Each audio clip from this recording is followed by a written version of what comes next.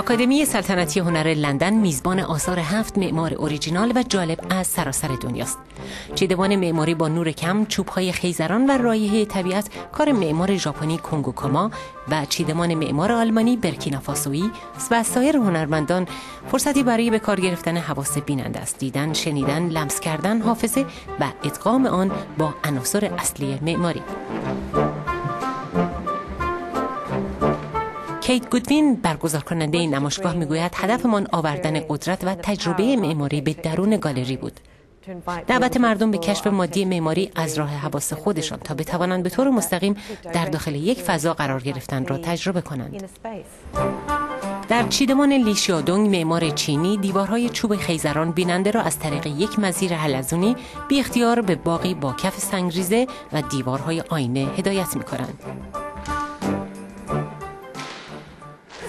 بعضی از چیدمان ها همه جانبند بیننده در آن قوطه می شود و وارد دنیای دیگر و بقیه قسمت های گالری ناپدید می شود بعضی ها سازه هایی با تاثیر فیزیکی برخی با حس بویایی ارتباط برقرار می کنند و بعضی ها دنیایی کاملا متفاوت مانند این سقفی که بالای سر ماست.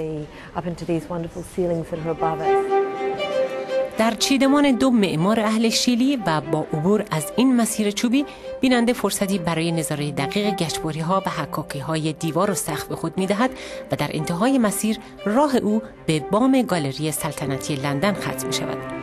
چشماندازی زیبا و بینظیر برای نگاهی به شهر. نمایشگاه حس کردن فضاها تا ششم آوریل در آکادمی سلطنتی هنر لندن برقرار است.